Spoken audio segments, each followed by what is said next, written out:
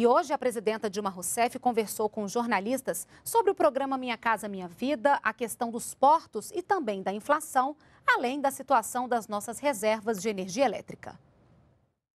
Controle da inflação.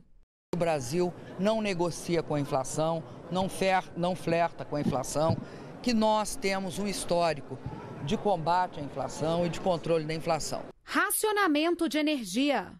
É uma absoluta irresponsabilidade e absoluto pessimismo e joga contra os interesses do país dizer que vai haver racionamento quando não vai. Eu estou há mais de 20 anos nesse setor elétrico. Hoje eu não estou acompanhando ele diretamente, mas qualquer um que esteve nesse setor sabe que esse ano de 2013 foi o ano, nos últimos, nos últimos, pelo menos até onde eu lembro, desde 1999, onde mais entrou geração hidrelétrica e térmica. Minha casa, minha vida. Nós temos obrigação de contratar 2 milhões e 400 mil moradias. O nosso país tem ótimas tradições, mas tem tradições que não são muito boas, herdadas da escravidão, e que acham que o povo brasileiro de baixa renda merece qualquer coisa. Eu não fui eleita para dar casas de qualquer jeito para a população brasileira.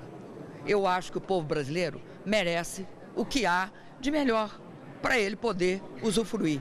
A minha obrigação é estar atenta para que ninguém queira vender gato por lebre, para que ninguém queira entregar produtos que não sejam de qualidade. Portos. Está tramitando pelo Congresso uma das coisas que eu reputo das mais importantes para o país, que é a lei dos portos.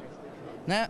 Por quê? Porque a lei dos portos ela vai melhorar uma das coisas essenciais, que é o custo Brasil. Veja, no passado, o custo Brasil era o custo da insegurança que se tinha em relação à capacidade do Brasil de pagar a sua dívida externa. Hoje, o custo Brasil é uma questão da nossa, do aumento da nossa competitividade. Nós temos de melhorar as condições da nossa infraestrutura.